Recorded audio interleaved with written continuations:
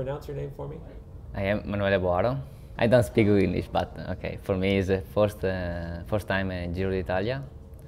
I'm very happy. Uh, tomorrow uh, we start uh, Prologo. Uh, I hope uh, the winner.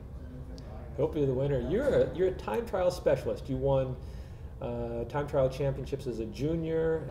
I want to win uh, tomorrow, but or in the Giro on one stage, or after I have Italian champion, I want the Italian jersey.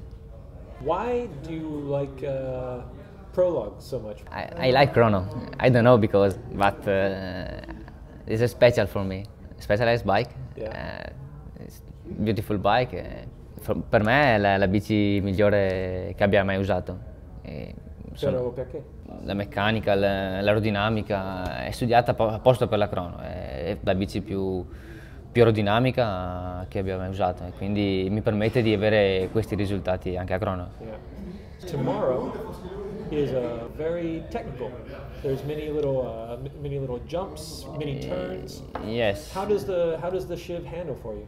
Yes, uh, the, The control. The first part is, is technical. The second part is fast. Tomorrow, for me, the, the specialized bike uh, chrono is perfect. Yeah, in, in the start is big chaos for the the corner, but okay, it's, this is chrono. It's a normal. Uh, it- the first part is very hard, but the second is very fast. And this is beautiful chrono because it's possible winner in the first or in the second part. You were excited. Yeah, it's, I like this parkour. Yeah. I hope uh, tomorrow all is good and a good result. We wish you much success, and I will talk to you again in uh, in about a week. Okay? Okay, Okay. Thank you. thank you.